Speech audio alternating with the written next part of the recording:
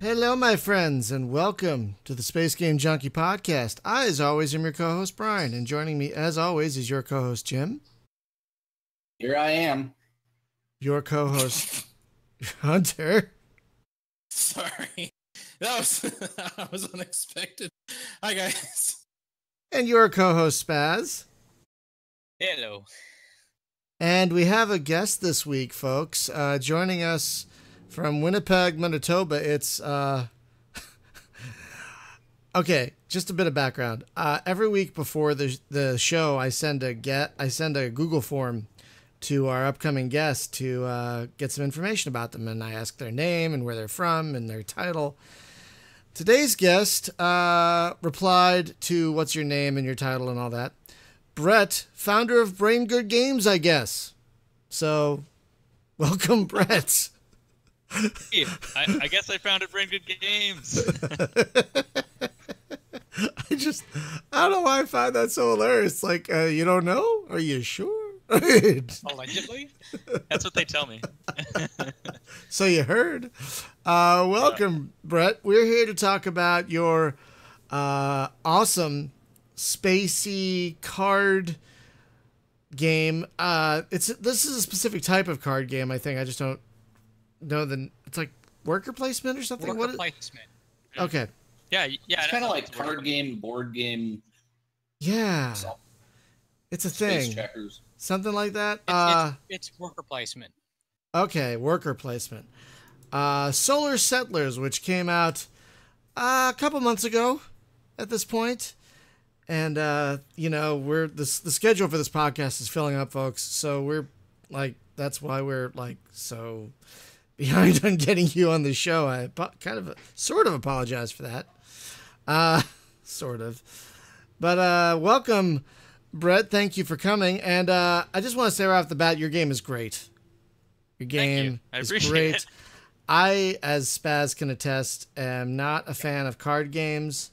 I know nothing of worker placement games. Uh, I am terrible at card games, actually, as Spaz can also attest, as he keeps beating me in Star Realms every time. Every time. Because I'm terrible. But your Brother game, always beats me at that too. but your game is awesome. So, uh, for folks who don't know, why don't you give uh, folks like the elevator pitch slash bulleted list slash rundown of what Solar Settlers actually is? Is a space exploration card game, and what that means is basically you're given the task of uh, exploring and colonizing a new solar system uh, for mankind to survive in, uh, but you use cards to do that. So you might uh, explore, and, and the cards make up the board basically. So you start at your uh, homeworld card in the middle of the board, and you kind of expand outwards, and you might explore and find a jungle world or a water world or a rock world or anything like that and then you can have cards in your hand that you can upgrade those worlds with. So you might build a mining facility on the rock world to mine some ore or something like that. Uh, and there's a whole bunch of different cards uh, in the game that do all kinds of different things, and um, uh, a bunch of races too, alien races that you can play as. So it's kind of the opposite of cards against humanity. It's cards for. cards for humanity. Yeah, yeah, yeah, yeah. Maybe cards with humanity, cards alongside humanity. Uh, so, so how many alien races are in the game? I've only discovered one so far. How many are there? Is there only one? Are are there more you can unlock? Uh, there's human, and then I believe four more. And I'm working on Oh, a fifth man. one this week. Uh, I'm gonna. I plan to. Really? Now, what are the differences between? I've only unlocked one. Uh, so what are the differences? Um, Yeah, so each of the races uh, have a different homeworld. The humans that you start with have uh, a few different homeworlds. I think three um, that randomly get chosen at the beginning of each game. Uh, but each other race after that uh, has their own specific homeworld that has a specific power. So the first race you unlock is called the Four Mids, and they're kind of like the ant people, um, and they specialize in building huge structures. So uh, their power uh, gives you benefits whenever you play a card on top of another card.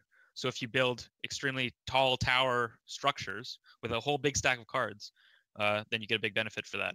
Um, and then also, uh, there are different goals that the game sets up for you while you play. So it'll say like, oh, like you need to get a certain amount of military, and then we'll give you this free card. Um, have a special set of cards that they use for that, um, and they also key off of building big towers, big structures. So I I've I don't think I've ever done this. I have about maybe three or four hours in the game, but I don't think I've ever done this because I mostly play humans so far. I only started playing the first unlockable alien like yesterday. Cool. But but um so what does that mean like cuz I know that there are cards you can do to upgrade a world, but can you like Ah. stack a card on top of that card to make an even taller stack as it were? Yeah, Oh. exactly. And the, and the formats have cards that care about that. So it'll say like, if you have a stack of three or more, you can play this card on top of it because it's like the top of a tower Oh. or, or whatever like that. Um, whereas the, none of the human cards care about stack height at all.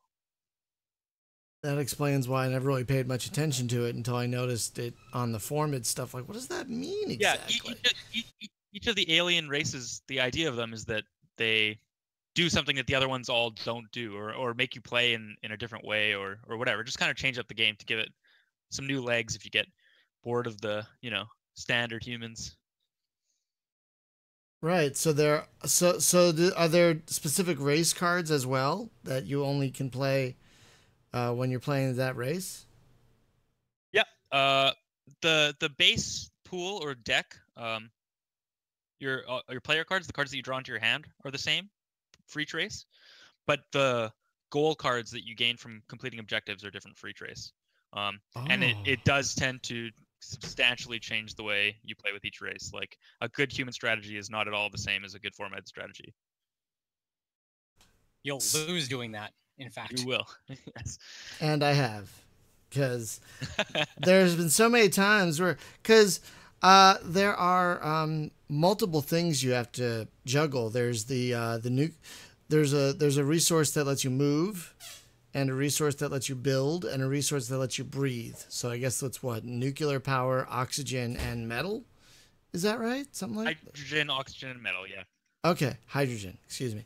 And you wouldn't believe how many times I ran out of hydrogen. So there'd be turns go by where I couldn't move, and it's like, yeah, I lost. I I just lost. Awkward quickly. It's like, oh, wait a second. I think I may have doomed humanity, and then you just end up kind of hitting end turn. Like this could have gone so much better. And, and but there are games where I've gotten just enough uh, hydrogen where I've been able to pull out a win in like the last turn, which is really nice. It's really satisfying. awesome. Thank you. So that is one thing about this game is that, uh, I, like I said, I, I'm not really big into card games like this, but something about this game is just so satisfying. It, it plays really fast, which is really nice, and there's just so much variation, which is also really nice. yeah. Is I, I know you have other games like this, so are do are are your other card games? Because I, I this is the only game of yours I've played. So are your other games similar? Like there's random cards and random boards, random card placement on the Yep. board. Are there, Um, uh, there's go ahead. Yeah, so each of the five games from Ringa Games has kind of a different level of variability. I, I would say this Solar Settlers probably has the most out of any of them, just because with the there's a pretty big card pool and the cards are all pretty substantially different. And then also you have the five races just in case that wasn't enough variability for you. Um, but yeah, my my game that I made just before this is called Minos Strategos, um, and it also has cards, so it has a pretty big card pool too. Um, because gener- I come from a board game background. Uh, generally, my my favorite games are all board games. Um, a lot of my favorite games among those are the games that have the highest variability in between games uh, that you play. Like I, I I always like it when a game provides me brand new situations to grapple with uh, each time. Um, because I like trying out different things and kind of seeing if it works and playing by feel. Um, getting things out, um, really mapping out my strategy over the course of many games. Um, I, I, I prefer to play by the from the hip. Uh, so th- uh, I suppose that kind of bleeds into the games that I make. it shows. It, it really does. It really does. It re- it really really does. Uh, so th- you said this is your fifth game, uh, right? Yep. So tell folks about and me, I guess too, about the other games you've made. Sure. So a couple of years ago, I started bringing you games. Uh, I got laid off from my job at a video game dev company uh, in Winnipeg, where I live. Um, and I decided, hey, like I could go try to get another job right away, or I could take a few months and just try to make something and release it and see if I could pay the bills with that. um, so I made Militia, which was the first game, which is kind of like a very minimalist, uh, um, chess-like uh, abstract strategy game where you fight with. Uh, you have a, a a group of scrappy adventurers like a paladin or a or whatever, um, and you have different combinations that you roll each game. So you have a, a group of three of them, and you kind of have to solve hordes of orcs and archers and dwarves and all this kind of stuff, and clear the board uh, to advance. Kind of thing. So that's what Militia is all about. It's kind of like, it's they're all single player strategy games. Right.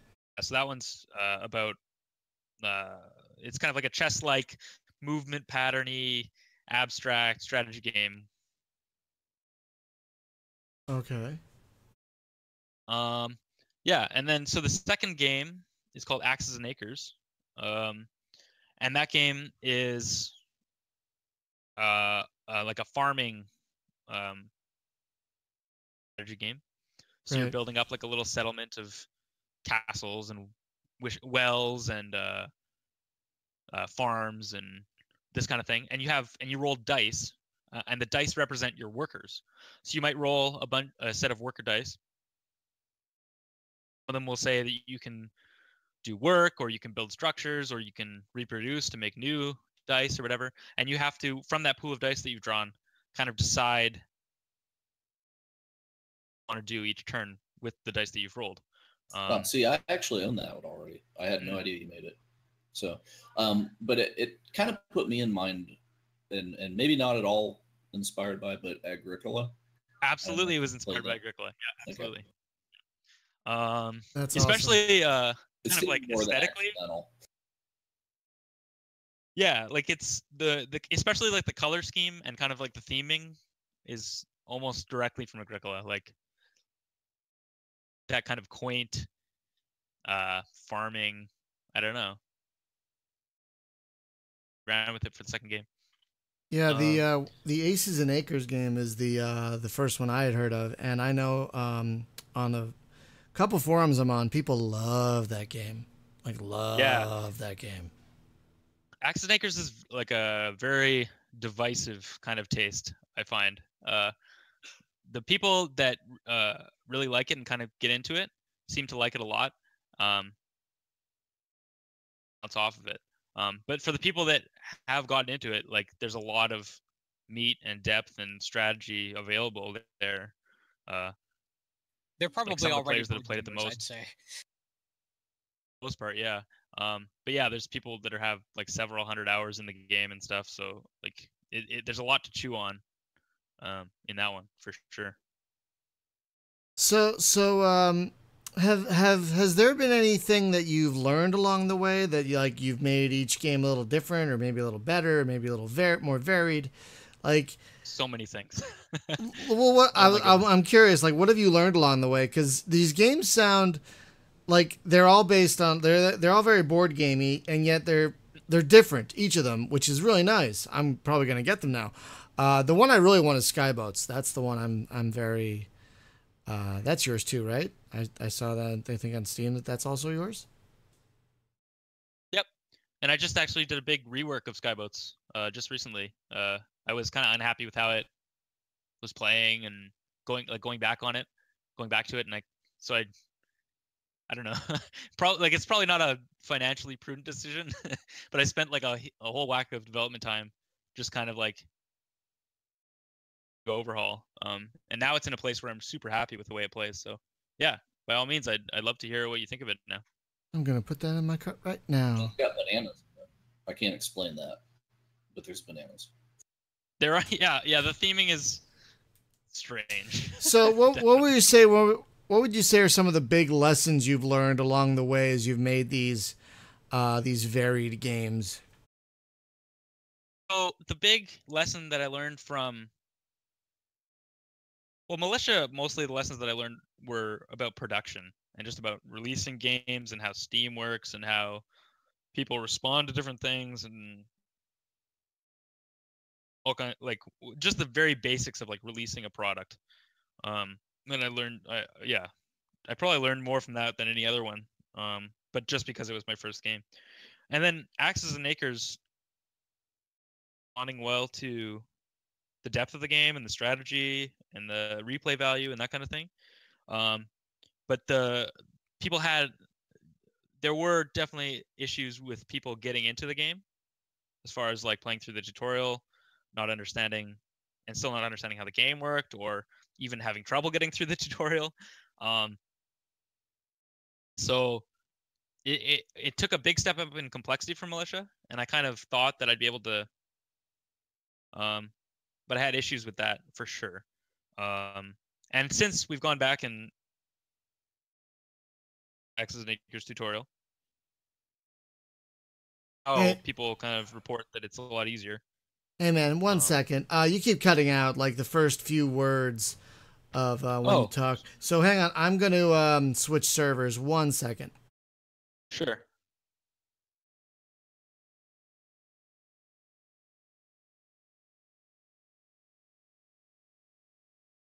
And we're back. Uh, that hopefully will be better. hello Yeah, uh, yeah, Yeah. It, it should have blinked you out and then back. Yeah, it just was like the first couple words whenever you'd start talking would cut out, which was kind of weird. I apologize, folks. That's one of the no, no. problems. What- Huh? Well, he's, he's also not on push to talk, so it might be something to do with that. Maybe. Yeah, because it's until it detects that you're loud enough to trigger the mic. So Oh. Are you like Yep. lean? Are you like leaning back from the mic? Because this wasn't happening earlier. It's kind of weird. Um. hopefully it stops Yeah, I hope so too. Broadcast is low rider. sorry, f- sorry, folks. Uh, this is. This is what happens when you do it live. Um, so it looks like so far the response to uh, Solar Settlers, excuse me, has been really positive. Like just about everyone I know who's played it has really enjoyed it. Well, and I think that's a big resu- uh, result of the learning that I've done over the five games. Like each game kind of has a whole bunch of lessons that I've brought forward. Um, for example, for Solar Settlers, I was trying a whole bunch of new things in terms of like the meta game.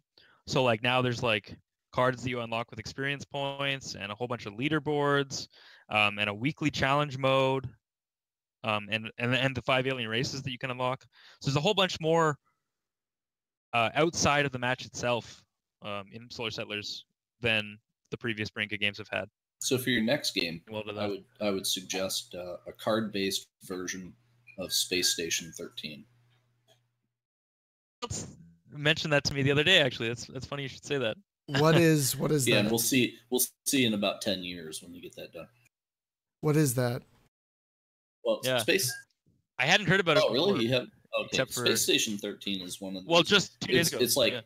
uh it's a it's a crappy game to look at and it's difficult to play because the interface is is cumbersome and gnarly uh it, it's it's kind of like a multiplayer dwarf fortress in space sort of thing being like that it's a story generator because just everybody comes out of that thing with some ludicrous story about stuff that went on if you if you just go on youtube and search for ss13 story yeah.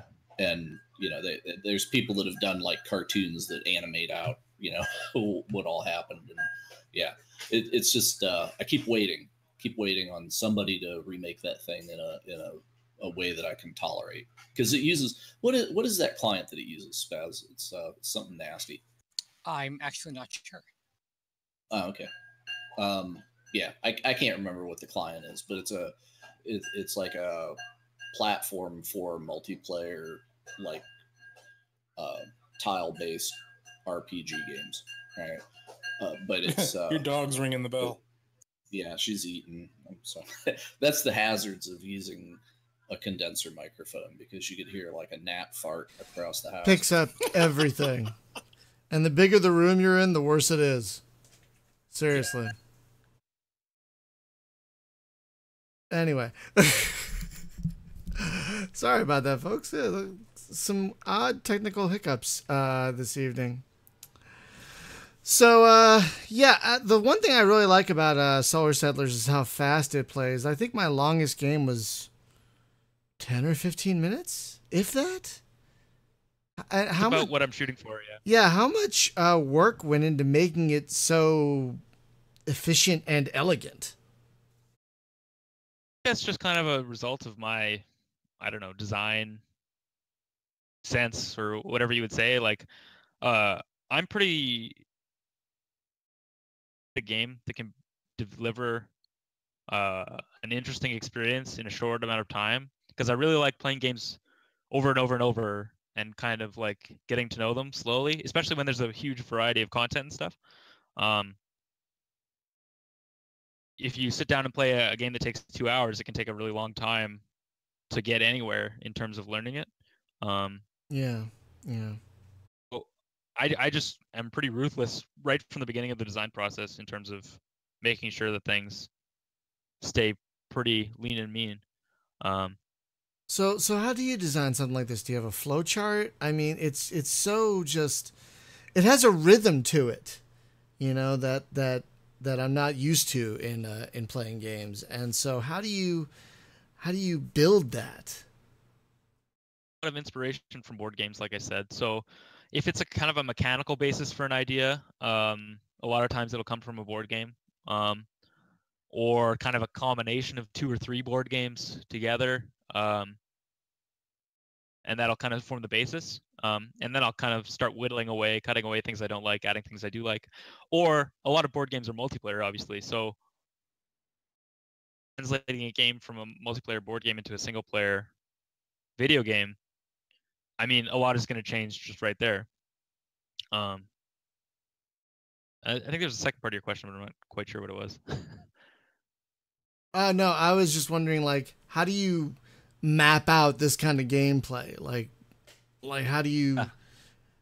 Is it like I said? Is it like some kind of flow chart, some kind of Bible? Like, wh- what do you do to make it to to not only keep track of?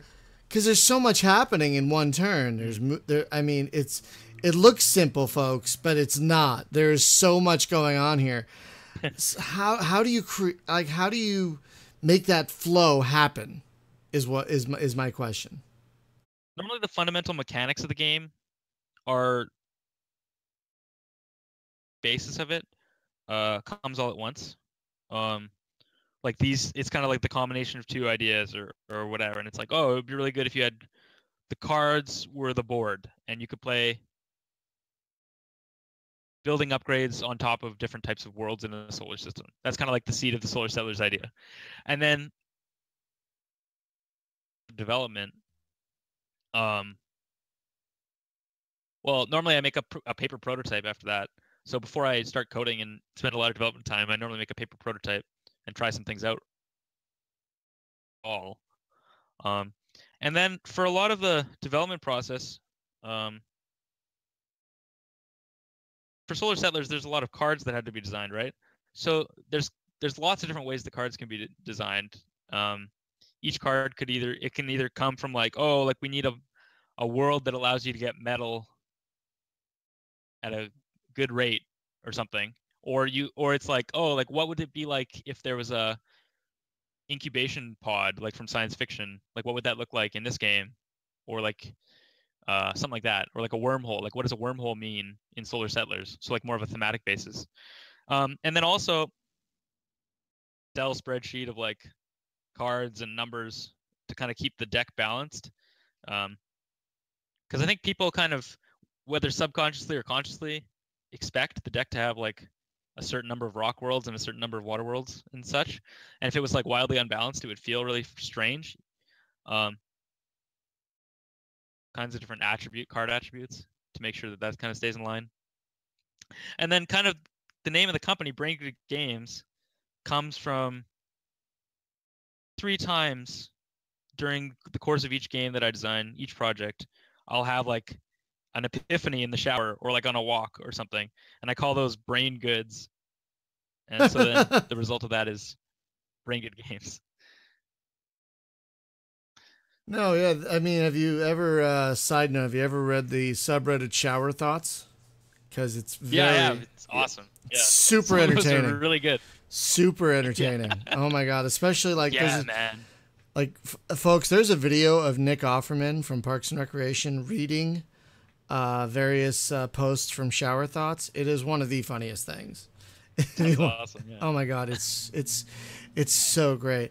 But yeah, I mean, one thing I I love about the game is that like like the sectors can be different sizes, and you might not be able to explore every sector right away. Like there's so much variation that every 15 minute experience feels fresh, which is That's exactly what I'm shooting for. which but that's that's usually reserved for like roguelikes and even they even roguelikes don't always get that right you know in terms of making each playthrough feel uh, fresh and uh, different and it's it's great because like i noticed when i was ear playing uh, early games and barely knowing what i was doing and flailing around like it looked like you were giving um, and I, I'd like to ask about this. You were giving the player all the tools they needed basically to do what they needed to win. It's just where they placed their workers and how they use them was the difference between winning and failing. So, how does the game generate the cards it needs to give players a chance to win?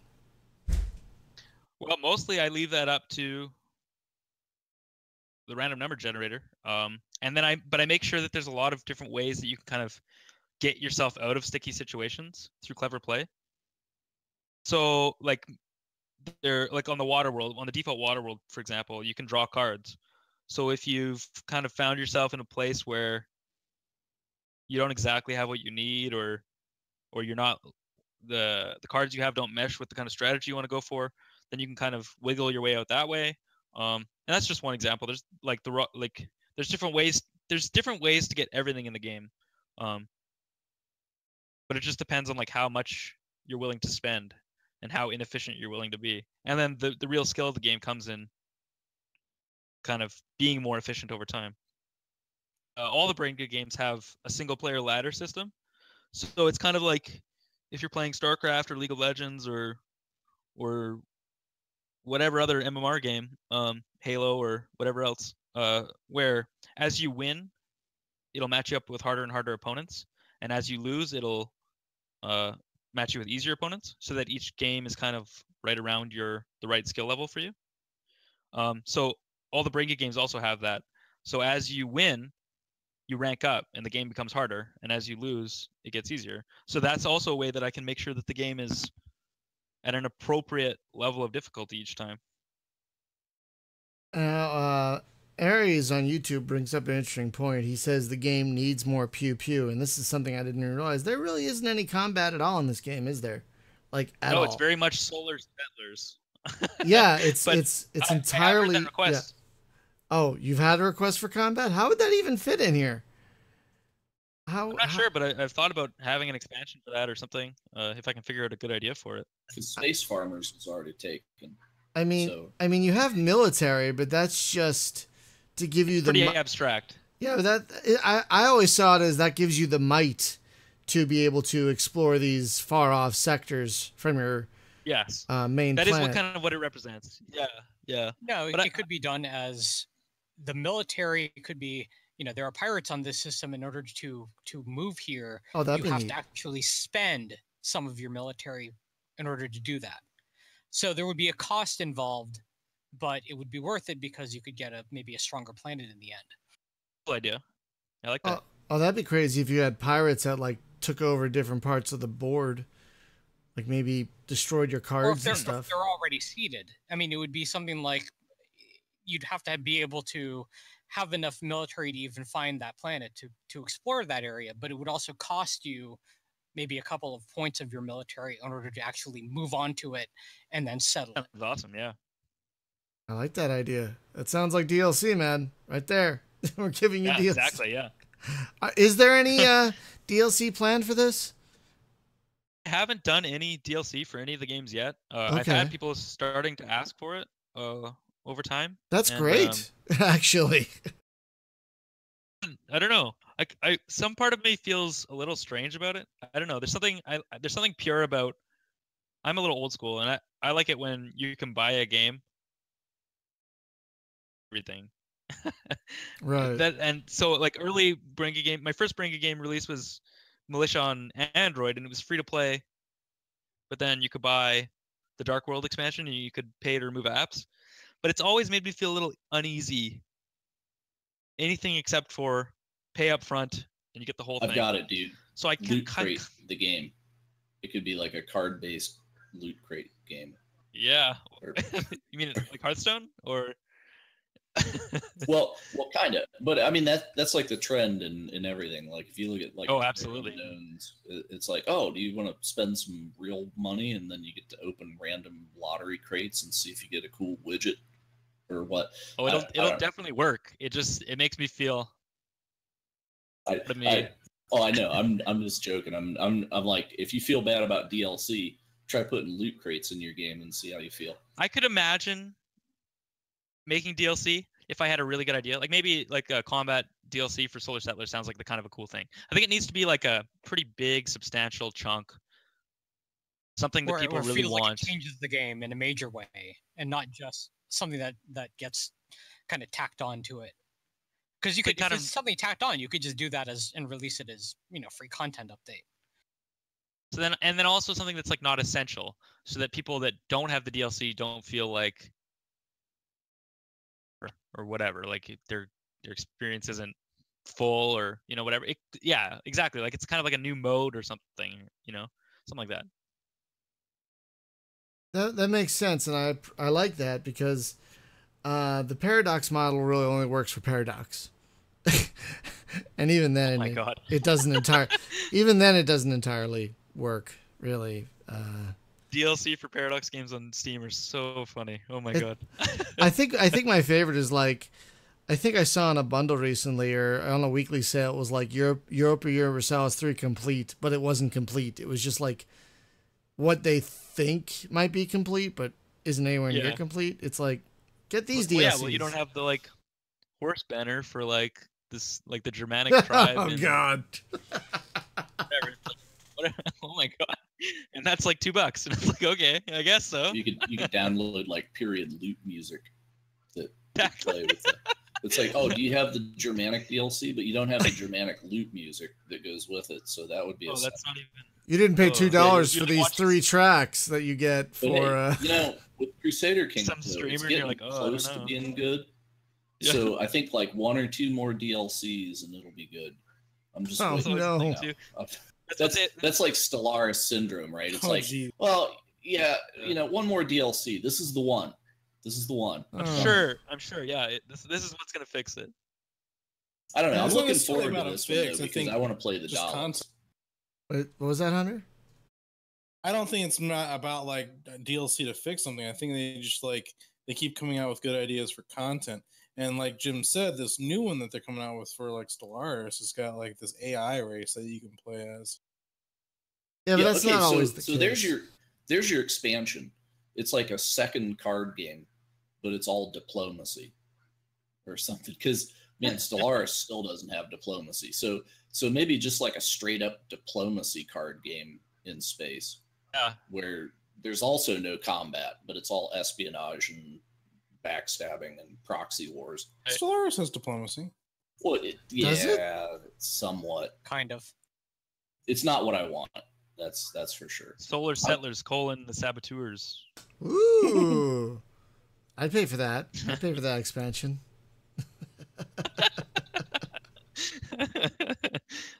I gue- I guess I gotta get to work on something. Eh? That's right. That's right. There's clearly not enough variety in the base game. I just want something where where it's like, okay, there's an established universe that people don't. You, know, it's it's not like okay, we all just started with one planet and then we're expanding out till we run into each other and then we decide who we're going to fight and conquer and whatever.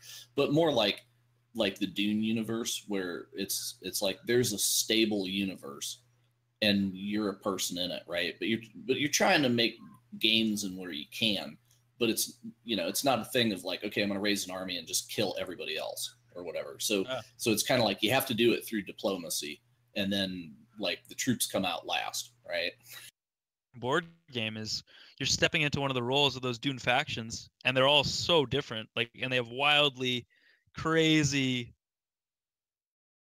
each have, but you all have one. So it's like, you know any developers that are Are- are you talking about the Avalon Hill? board games that could make something like that for me sorry, pardon me. i said do you know any developers that are inspired by board games that could make something like that Do know one. all right well get on that i'll see you in about Okay, 10 I'll get years on when it's done Uh, Spaz, you I'd love, I would love to make a multiplayer. Yeah, I was just asking. would love to that make a mul- the, the Avalon Hill uh, Dune version you were referencing there, or one of the other versions of Dune? Yeah, yeah, yeah, yeah, exactly. Uh, the the out of print, really hard to find guy. Yeah, my brother has a copy still. i wonder if it's on tabletop simulator or somebody needs to get on that I think it is question mark. I'm not sure. It probably is, but it's not legit. Sure, Yeah. I just Surely want to someone- read the rules. I'll probably never play it, but I'm very in, intrigued with how they made a game out of it that can actually be interesting yet not predetermined. Yeah, I, I would love to make a multiplayer Brain Good game. It's just about a cost-effective way, both like in terms of development time and then also like for servers or or Yeah, whatever. Well, it's well, it's almost like uh, hot seat would be the way because then you don't have to worry about netcode. and That's all that true. crap, That's but- true. Yeah or Yeah, it could be Perhaps. asynchronous. Yeah. perhaps uh, a reboot of Sins of a Soul or not Sins of a Solar Empire, uh, Empire of the Fading Suns. Goodness. Yeah. Or Emperor of the Fading Suns. Yeah. Which is essentially Dune, kinda, in a in a not Duney universe. I don't know. Let's call it the Duneverse. If you if you like that game, you should definitely pick up the role playing books because they're a fantastic read. Seriously. For Dune? okay, I had I No, had uh, one of- Fading Suns. Fading Suns. Oh, okay. Yeah, yeah, yeah. and then it's a it's a shame that Noble Armada never made it. Oh, I remember the name because I lost it for it so bad. I, I played the demo at E3. though. The demo was 99. great. The demo was so great, It was kind of like Battlefleet Gothic, way ahead of its time. but good. I mean, Yes. sorry. well, really, I mean that game. That game is like if you if you had a weird marriage of Warhammer forty thousand and Dune, you kind of get Fading Suns, somewhat. And with a smidge of uh, the BattleTech universe thrown in there with the the house politics. Mm. Yeah, that's true. You know that that would be. Oh man, what a cool Stellaris mod! Because they did like Star Trek and stuff. A BattleTech Stellaris mod that just sets up the great houses. i- In there, I don't know and anything you about fight this- the Succession War. I don't know anything about the spaceships in BattleTech, like at all. Like, are there The spaceships in spaceship- BattleTech? Yeah, there's there's- yes, there are. Oh There's hell jump yes! Yeah. ships and drop ships. Jump ships are basically it, it's like a, a a big metal cigar that has a giant solar sail on the back, and they're very fragile, so they don't engage in combat with that at all. They even and made it they- illegal in they- the universe to attack one Yeah, because of the, how rare they are. right. So so it's it's like not Dune style guild Heighliner, but it's still like the forbidden. Like you don't attack those, right? But you can shoot the hell out of drop ships though. So the so it's basically like the jump ship comes in and it's got drop ships hanging off the outside, and then the drop ships fall down to the planet and then drop the mechs off, or they get into like uh, just getting into the atmosphere, and the mechs jump out, and uh, it, very much like Starship Troopers is where it's inspired from. So the the mech has like a capsule that it crashes in, and then it climbs out. Um, also a very 40k thing because that's how they deploy Space Marines. But yeah, Huh. um, but the thing is, you could do the whole succession war, and you never need uh, a mech because, well, your armies, right, could be mechs, but you don't fight ground combat. Uh, it'll, it'll probably be a couple years before before that DLC comes out. Uh, yes, but I don't know. I mean, it, it would be neat. I mean, the, the whole the succession war thing was obviously very heavily Dune inspired, uh, but it's its own animal too. I, I liked it. it. It it's basically like they fought and fought, and they fought to the point where they had basically lost the ability to make high technology stuff. So so it's like we got what we got, and all the factories are destroyed, and the knowledge is lost, and whatever. So so at that point, it's like you have a battle mech that's like family legacy. It's passed from father to son, and don't lose that in combat, right? Because it's like a knight, and uh, yeah. So so it's Passing on like family armor. Yeah. yeah. So Literally. the mech warriors are are basically like royalty, yeah, kind of guys. They're they're the knights of the battlefield, which is why you don't risk your mechs because you couldn't make new ones back then. And then Ah. the, the time went on and it got away from that. And Then they brought the clans in, and the, and that's when the whole universe went to shit. And then everybody and their brother had a mech. Yeah, and then it's Because just they like brought the mechs coming out factories of our back. ears. Yeah, So, um, the, sorry. yeah. Go ahead. I I'll, was- I'll, I'll let the battle tech thing go. yeah, I was just uh, gonna. Stellaris mod, please. Never let it go. Somebody. I was just gonna get back to Solar Settlers. So you said there's another uh, race coming. What else, uh, if anything, do you have planned uh, on the uh, or cooking for this game? I have a huge big list of uh, little features and uh, bu- small bugs and stuff that I've been meaning to get to for a while. Um, and then also I want to add a, a a whack of new cards. So some new cards and then a new race, uh, and then just a whole bunch of quality of life things that people have been suggesting. There's tons of great suggestions on the Steam forums and stuff. Um, uh, I learn a lot from just the community in terms of what they like. Um, possible. Did this do? I don't remember. Did this do early access at all, or did it just go straight to release? Uh, just straight to release. However, I have been like flirting with the idea of doing early access. I think it kind of makes sense for the kind of thing that I'm doing. Yeah, that. Uh, it's also kind of old school to just go straight to release uh, instead of doing early access. True. It feels like these days. Um, there are definitely benefits to it, but uh, at least with this I think one, you get a little bit. I think you get a little bit more understanding in terms of like bugs or um, I that might not quite be up to snuff or whatever. I think people have a little bit more leeway with that stuff in early access. So this game's very much like a player versus environment, right? So it's it's not like well you're playing against an opponent that's playing the same game as you. Correct. it's- Yeah. Yeah, I, I'm not a huge fan of um, playing against AI generally in games. Uh, so all the Brain Good games, it's like very asymmetrical. It's like the enemies are just playing a completely different game than you are. Um, So the, is it like a cinematic enemy? It's it's just like you whip them up when they're needed, and you know Right, it doesn't yeah, matter what they were doing before, but they're here now, and I know, feel. yeah. Or I it's- fe- oh, yeah. I feel like with this game, or you're, you're just competing you're- against the systems, kind of. I was gonna say, I feel like in this game, you're your own worst enemy. Well, yeah, yeah. Like, oh no, I shouldn't. run out of hydrogen or oxygen. At a, I shouldn't have moved that guy there. Oh no, I gotta kill that guy now. Oh, I ran out of yeah, oxygen. yeah. It's so sad when you have to kill a guy.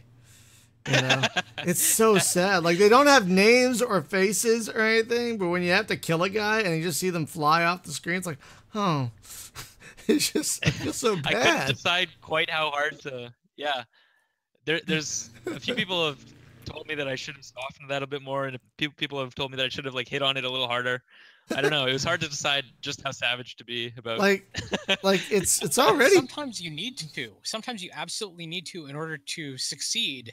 You've got to make a move that you know is going to get you a research you'll need next turn, but it's going to end up losing you at least one of your people.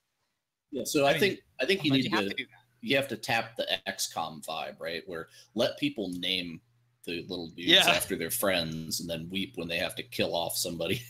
Oh, I'll never play this if you can That do that. super I'll intense. never Well, play then this. again, when you colonize, you lose the you lose the uh, the person you sent. I mean, you you don't have access to them anymore, so they're alive, but you but don't they're have safe to in their little dome. They're not dead. They're safe in their little dome, and they're it's their new home. They settled. Their solar's settled. Oh my They're God, I've got it. I've got it. Cannibalism. Yeah, that's that's yeah. what we need. We need space cannibalism. no, we DLC. do not. This isn't Tharsis, man. This is not Tharsis. I know, but there, but every space game you should be able to like eat your coworkers because space. Could be a good card idea, man. Cannibal World. Yeah, there you Yeah. go. There was even a Star Trek fan project that was about cannibalism, actually. What? Yes, it was. Uh, it was one of those Star Trek fan film things where um, they. It, it was some alternate universe deal where the ship like rescued somebody, and then she was telling the story about uh, whenever she was a little girl, and their the family was they were like on some they were going to go colonize something but the the ship broke down or something and then it was like well mom and dad died and she was the only survivor on the ship and was starving to death so she had to eat her mom and dad while she waited on rescue Oh my And god! it was pretty dark actually it was Oh my it was like God. dark track Pretty dark. Holy, is this Deep Space? Oh my god! Is that what this is? Holy shazbot! but yeah that's it so basically you can just kill somebody to turn them into dice that would be the way Dice are pretty Oh. sick.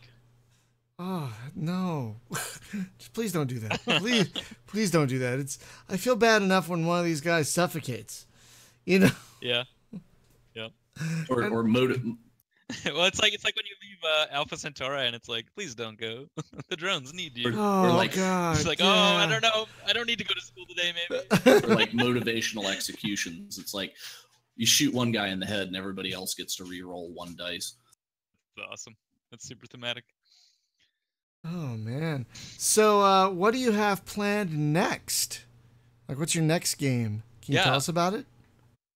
Starting it up a little bit. Uh, uh, I'm doing the solar update this week, and then next week I'm hoping to start a prototype for the next thing. Um, and believe it or not, uh, I think it's gonna be like a a game based on like lawn mowing, but with robot lawnmowers. in space. Wait, wait. So like Roomba lawnmowers? Yeah, yeah, kind of like that. So then it'll it'll like, but they'll have like little rules for them. So it'll be like, once this hits uh, a ball or a stomp or something, it'll turn right, or it'll this will do U-turn, or this will stop and wait until the cat leaves the path or something or whatever. Huh. So you'll have like a whole fleet of these like robo mowers that you set up and try to like efficiently mow the lawn. And is the goal to mow the entire lawn in like a certain amount of turns? something like that or or or at least like a percentage of it because i'm not sure that it's super fun to like get the last few Oh yeah, you got that one square in the corner that you can't get to, and you're like, fuck. yeah so it might be like 70% or 80% or whatever or it could scale with the ranks or something like that Oh God. it's not fully fleshed out yet but what is that game? I can't think of the name of it. Uh, where you use a text console and you're controlling the little Roomba probes. oh uh, On Duskers. Duskers. Yeah, Duskers. So that's it. It's it's like Duskers, the lawnmower version. Kinda like Mow- mowers. So so dude, Right. you, you you you have to man in an homage to Duskers. It you have to have a text interface. That's how you control Sure, the mowers. text. and the mowers You- will be named like lucy or Yes. diana or Yeah. whatever Yes. But, it, but you, you program them like uh, remember Big Traks from oh yeah, from, with the uh, with the like back in the keypad day with the where you- keypad in the back. yeah you're like you're like right 25 forward 50 oh god Oh man. no yeah. but well what about what about as a as a programming game though uh, if you if you had to program ai for the lawnmower yeah that sounds yeah exactly that's it- kind of what i'm thinking yeah, yeah like- but like, but but what about card based ai so so it's like the ai is cards that you lay down and it's going to process the cards and see. Yeah, totally. So you'd have like a this stops on obstacles, or this turns right, or or this goes ten steps and then does this, or Yeah. whatever. Yeah, and you and you could actually build puzzles with that because you got to deal with the cards that are on this level so you might not have a right turn right. so three lefts you know? Exactly. Yeah, yeah, yeah. Sounds cool. yeah uh what spaz what was that game there there was some robot game uh, where you actually programmed the robots like five moves at a time or something and uh and it was a board game it Um, I, was like robo talking about- rumble or something well, uh, Robo Rally might be the one. robo rally that's it Yeah. Yeah, I've played that one too. Yeah.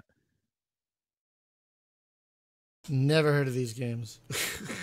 I'm glad we have some people here that have played uh, board Well, games. 'cause- Loads of board games. yes, Yeah. you Board game. especially. Oh my gosh. Can Can one of you guys explain how Robo Rally works? Because I vaguely remember it. Yeah, so basically you have a hand of cards, uh, and you have your little robot on the on the grid, and there's a, and on the grid there's a whole bunch of treadmills and whatever, whatever else, things that turn your robot right and all this kind of thing, and you have a goal that you need to get to, and then you slot your five cards in your hand, which might be like move forward, move forward three, move forward then turn right, turn right, U turn or whatever, and you have to slot them in the in an order that'll allow your robot to move where you want it to go. Okay. But the problem is you and all your friends reveal your time. So And it, is is there combat to it as well? Like you shoot each other? There's a at the end, of, at the end of the round, everybody shoots their lasers. So and inevitably your plans will get screwed up immediately because somebody walked in in the way of you or whatever, and then you uh you'll end up shooting them with your laser or whatever. Like yeah, a, a contemporary uh I, I wouldn't say remake because it's not really a remake but it's in the same vein with some mechanical changes would be colt express Yeah. and in that uh, you each play a bandit trying to rob a train and you you program your cards in the same way. But as you're programming cards sometimes your cards have to be played face up. Sometimes they get played face down.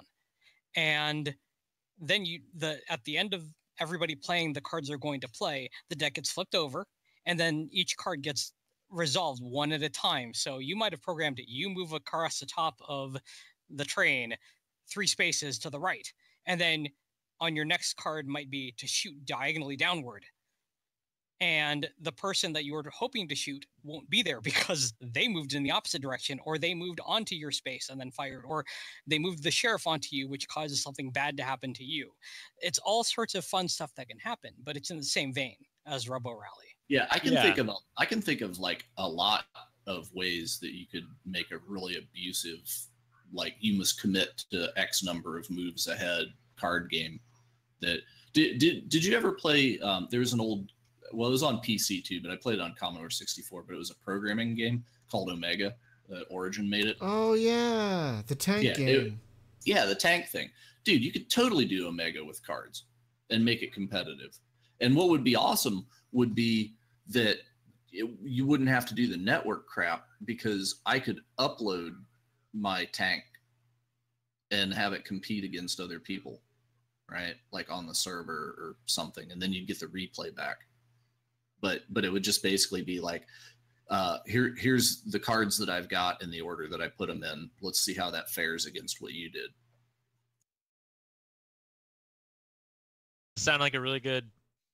I, I think yeah, I I I'm didn't gonna play it at the incorporate that time. into my. I didn't Well, I play mean, at it, the it, time. the the one that the Omega that that came out from Origin was like a hardcore programming game. I mean, it, it was like uh, there was a game that was called C Robots, and it's very similar. Um, Yeah, that, that's pretty hardcore programming. Yeah. yeah, it's well, and on Steam right now, there's uh there's a thing called Screeps, and it's an RTS game, but you program the AI for all your little dudes. And uh, but the the I, I thought about it, I was like, oh man, that'd be because it because it all runs in Java, right? So it's like, man, I could like drag myself into learning Java and make it fun. The problem is though that it's like, okay, you buy the game for 15 bucks but then you actually have to buy like execution cycles and their cloud stuff for your dudes after that. So it's like the the more crazy AI you write, the more cycles it's going to eat. So therefore, it costs you more to play the game. So it's kind of like, eh, I don't know. But you can continue to play forever, but you only get like you don't get like symmetric multi-processing. It's like you get one guy gets one thought at a time kind of thing or something. It's very restricted but I'm sure that most people are playing it that way instead of but it, but it's it's like subscribe to win, right? But it but it's interesting because it's it's like playing Dwarf Fortress except I wrote the AI for all my little dwarf guys that are running around. There's something super satisfying about setting up a big machine or system or fortress of dwarves or whatever, and then just watching them do awesome things, and you're like, yes, Yeah. my plans are so sick. Yeah, it's, have, have you played uh, um, since since we're talking about that that kind of stuff? Uh, RimWorld, any? Haven't, not yet, but it's on my list. Oh yeah, it's oh god, it's good. And the the mods that people are putting It's out is mean. just crazy. It's mean. Di- It's a have very you seen the Cthulhu game. mod? You can run a cult, and then you, you're like What? summoning elder gods. Yeah, the, the, I was watching a guy play it on Twitch, and he he like took one of the colonists and like they build an altar, right? So he took the guy in and did like a human sacrifice, and they used that to like summon a Shoggoth, and then the Shoggoth is like just running around with the rest of the people, and they they encountered like some colony of bugs that they had to fight.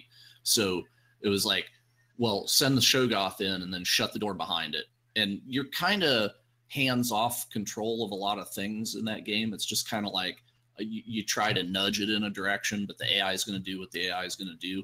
And so he shoves the Shoggoth in there, and the Shoggoth like just laid down next to the bug mound and went to sleep. it was just like I'm not fighting. so yeah, it was it was a temperamental thing, but it was hilarious watching the guy's just frustration. Like after he went through all that BS and had to sacrifice one of the colonists to do it, and then the thing just goes in there and like curls up with the enemy and goes to sleep.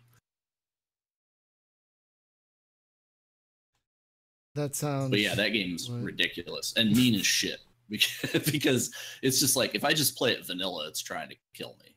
And I, I put a couple of mods on, and now I die even more. But but it's I keep waiting on somebody to make a, a graphical front end for Dwarf Fortress like that because I I've tried and tried to play Dwarf Fortress. I just keep bouncing off because I I can't interpret all the ASCII barf all over my screen. barrier and the other thing is uh for me i really like it when a game gives me clear goals that i want to that that i'm supposed to pursue and i find it really hard to like like hey do whatever you want and it's like well I, I really like it when i have a little bit more direction and dwarf fortress doesn't really give you a lot of that Uh, yeah, it's true. It's, Doesn't give it's you, sort of a survival. Does it give thing. you any? Does it give you any direction? Like I tried to play it once, and my brain just noped out. Uh, Well, like generally real directions fast. generally you're don't trying die. to dig and not die um but it's kind of vague It's very, it's very much experimental. It, Right. It's just like how many iterations. You know, it's like, well, let's try doing this. Let's try doing that. And and the the glory of the game is actually about losing because every time you lose and you get a little bit smarter, your next your next death will be more spectacular. yeah because it's it's like you set up this elaborate house of cards and then it falls down. Like at least if it would say like, "Hey, like you got deeper than last time" or something, or Yeah, I don't know. it was like the first time I ever made any kind of progress in it, and I thought, well, I want to settle next to water, right? Because dwarves, you know, people got to drink, right? So I want a fresh water source. So I settled like near a stream, and apparently that means that the that the there can be an aquifer that they called it in the in the ground, right? So I dug down and I basically like hit an underground stream, but the underground stream was higher than the innards of my fortress. So just instant flood apocalypse. Pow, everybody's dead. it's just like, oh shit. Yeah, it was like just water like rocketing out the front door and carrying dwarves out with it. Yep. So it's like, well, we all died. And I, I don't think I've been back since. So but I keep waiting on something to to make it like approachable so that I can deal. My wife was huge into Gnomoria. She got Gnomoria up to the point where her computer was just choking because just processing turns. It was like she's got a million little gnomes running around. Wait, it's called No More Ria. Yes. Yeah, it's gnomes and Moria, like from Lord Oh, Rings. I thought it was Moria. No More Yeah, like no more. Oh no, Like oh, no, like gnome. GM. Oh. Gnome, gnome on the range. oh god. Oh man. There, God, uh, where that comes from? There, there was a con that I went to in 1983, and there was a guy that ran a game of Roll Master, and we played as gnomes, and that's what it was called. It was called Gnome Gnome on the Range, and it was a competitive gnome campaign. It went on the better part of a day, but it was it was cutthroat gnome RPG stuff, tabletop. I actually own Gnomoria, and I've owned it since 2015, and I've never played it. Such is the curse of the modern gamer. But don't wait till it's finished to play it because that'll never happen. But uh, We are spoiled for choice. We really are. you know the one that I keep messing with is uh, Stonehearth. That it's still actively in development, but that's the closest thing to an approachable dwarf fortress that I've seen yet. It's I do like 25 that one. I do like that Yeah. one. Yeah, I do like that one a lot. That Yeah, so so everything we say about that game is basically dwarf fortress, but super simplified. Yeah. So someone like even like me can play it. Uh, so uh, I think I've co- we've covered just about everything. Do you guys have any more questions? Should we start wrapping this up? Let's start wrapping this up. Um, because I know nothing Silence of. I'm nothing. sorry, I know nothing of board games. I really like this game though. I'm just gonna say I really like this game. I I don't know how many games I play with it, 20, 30 because they play so fast. Uh, but folks, the game is Solar Settlers. It is ten dollars, and for ten dollars, you get just an obscene amount of gameplay. Seriously, there is just so like if you look at the video, like it's just he's just putting cards down. No, there's a lot more going on than just putting cards and moving moving little uh, green dudes around. Seriously, Every choice matters. every cho- choice every matters. From, choice from everything you place down to what cards you're going to sacrifice for for just that one resource you need to to you know get another colonist going or having have just one more point of oxygen so you're not suffocating it. And all of these things matter. hmm Yeah, it's it's very it, it's very emergent and it's it's really really great. Uh, I've had a lot of fun with it, and you probably will too. I'm about to buy Skyboats because I definitely want to check that one out. Because I I love the f- thought of flying boats. Uh, that one looks really cool. Uh, but Brett, I want to thank you for uh, taking the time to uh, talk to us today. Had me on. It was a lot of fun. Yeah, and uh, if you make another space game, which I hope you do, definitely let us know because uh, we will definitely play it. Solar Settlers has been pretty successful so far, so there, there's a good chance I might. Like people love space. I I don't fully understand why space games died for ten plus years.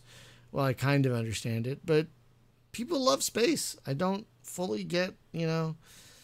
Anyway, uh, folks, just a couple of programming notes before we uh, end for the night. Uh, Thursday, we are after.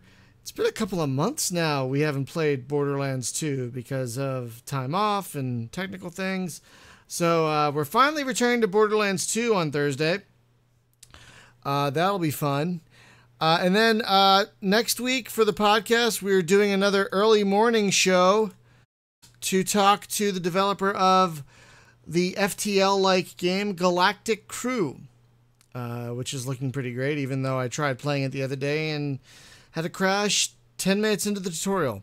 Or maybe five minutes. I don't know. It was real quick into the tutorial that it crashed. So I'm like, eh, damn it. Um, so that's an early morning show because our guest is overseas. I forget where. Uh, I think that's it. Oh, a couple things. Uh, this Sunday, I forgot to mention, is our last Earth and Beyond uh, monthly uh, MMO meetup. Um, so that's going to be fun. And then uh, for the final three months of the year, we're going to be doing Star Wars Galaxies. And apparently, apparently, uh, not using the emulator. We're doing the other one now. Apparently, We're gonna uh we'll we'll we'll we'll figure it out. There's there's Yeah. something we we, gotta sh- talk about. we should do some testing and some talking. Uh, but yeah, definitely Star Wars Galaxies on the table for the last few three months of the year uh, for our monthly MMO meetup. But this this month is Earth and Beyond, which you can play for free. Uh, there are details on how to do that on the Steam forums. Um, and then uh, next Saturday, the 30th, uh, we're going to be doing a special weekend thing with the developers of Eve Online Valkyrie. Uh, well, it's just Eve Valkyrie, not Eve Oh, it's Online just Valkyrie. Eve Valkyrie. I'm sorry. Yes. Eve Valkyrie. Uh, that's the 30th, uh, 7 a.m. our time. That's going to be fun. Uh, we're going to be doing some streaming with those guys. Uh, I've never played that game, and hopefully, moving away from VR will get them a bigger player base. hopefully. I, well, you know, it's got, got me a- intrigued.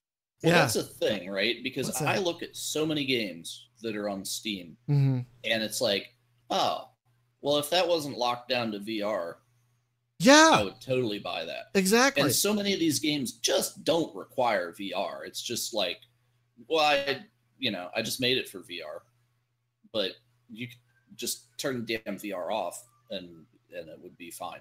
So, you know, especially if it already plays with a gamepad or mouse and keyboard, just happens to be VR. yeah, I really Uh, appreciate game. Battlezone. I'm looking at you. Yeah, I really appreciate Yeah. games that support both. Uh, ba- the new ba- the, that new VR Battlezone doesn't though, right? That's just Nope. damn it. and, and such a such a Damn miss, it. right? Because man, that would be cool. Uh, eventually, maybe it will. I don't know. Um, but yeah, I've seen. Well, you know what my current giant burn is is that I had always wanted. Like, when are they going to convert War Robots from Android over to PC? Please, I would. I would really like to play that on PC. Uh, and they just they just won't. So now they have it on PC. They have it on PC, but VR only. What's it And called? it's just like hmm, War Robots. It's Never heard of it. Yeah, it's a oh look. Well, you got an Android tablet. Uh, I think it's called Walking War Robots or just War Robots. Yeah, he. I uh, just like Spaz it in uh, stream chat. yeah, take that freaking VR off the end of it, and you got me. Oh, that looks great. and that's VR. Yeah. Oh, son of a gun. It's redonkulous. Okay, so you know what the cure is? Is we need a fake VR, an app that fakes an Oculus and then just bakes it down to one screen, and then we can play it without. You know, I can play it with my my head tracker or whatever. Oh man. But yes. Uh Oh, there and there, there's that Solar Settlers game. I heard it was all right. well, and and don't feel don't don't be too upset because no one's playing that Battlezone game. Like I think two people are playing it right now, and that's it. So don't just do VR, people, please. Please don't do just VR. You're just shooting yourself in the foot. Or if you Just- do do VR, send everybody an Oculus something. Anyway, let's wrap this up. Brett, thank you so much for hanging out tonight. It was fun. Uh, again, the game is Solar Settlers. It's awesome. Even if you don't like card games, and I typically don't, this is a great game. It's only If you ten love dollars. board games. If you love you board games, even better. But even if you don't love board games, this is a great game. Seriously, it's fantastic. Uh, so thanks for watching and listening, everyone, and we will see you later. Have a good night, y'all. Bye bye.